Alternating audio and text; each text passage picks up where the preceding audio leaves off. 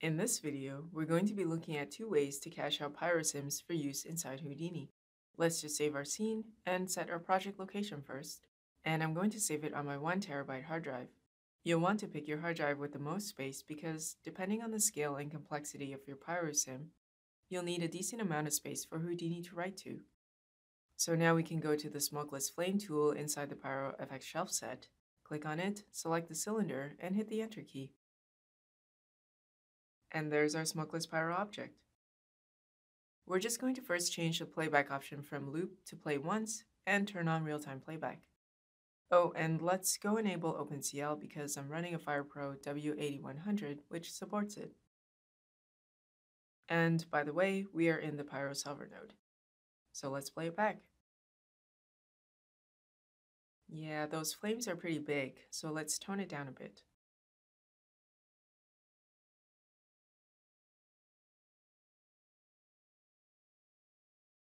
Let's see it now. That's better. And by the way, I've sped up the playback recording so as to keep the video not longer than it needs to be. Now, you'll notice that we have this blue line here. That indicates that our simulation has been cached to memory, which means we're able to scrub it and play it back pretty quickly.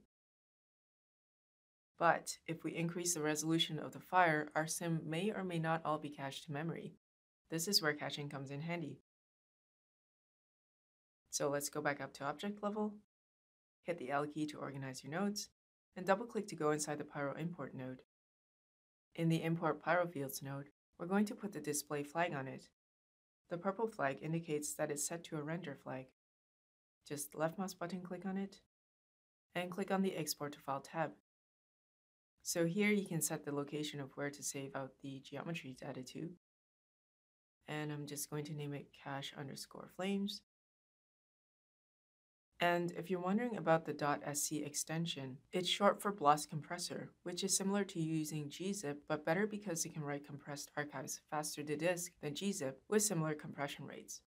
TMI? Maybe, maybe not. So let's hit render to save out the 240 frames of flame geometry data. And we're just going to time lapse the save. So about five minutes later, we have our geometry data written out. And we can click on load from disk so that Houdini will just read from the .bgeo compressed geometry files. This will allow us to click anywhere on the timeline and load the corresponding frame of the PyroSim without having to cook the sim from scratch. If you're wondering about the lack of color, note that this method of caching is more lightweight and thus quicker, but it only stores partial data, which is why our flames are gray, because the colors are in the visualization options. That said, we can easily add back a volume visualizer node to get back our flame colors. Just hit the tab key and type volume visualization, select it, and we'll move the display flag down to the visualization node. And let's start adding back the parameters to bring back the fire color. We're going to select temperature as the emission field, and select heat as the emission color field, and enable emission color range change the color preset to black body. And we don't see anything yet in the viewport because our emission scale is set to zero. That's probably too bright and not really looking the way it did, so let's change one of the colors in the ramp.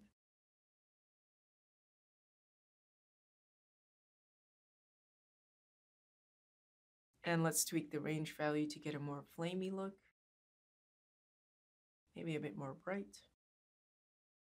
And let's play it back.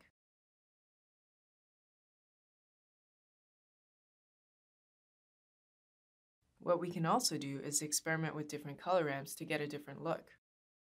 The infrared, for example, so you can more easily visualize your pyro without having to wait for a sim to cook. Okay, let's delete this node, and we're going to check out the other way to cache out a sim. We'll just uncheck load from disk and go back up to object level. And if you click on the PyroSim node, you'll see that there's the option to play back simulation. Double click to go inside, and we're going to see how we can write out the sim data for it. Click on the output node, and here we can set where we want to save the .sim data to. Let's give it a name. And because we saved our scene at the beginning, we're still pointing to the 1 terabyte hard drive. Click on accept, and there's our file name. And we're going to use the save to disk in background option, which is new in Houdini 14.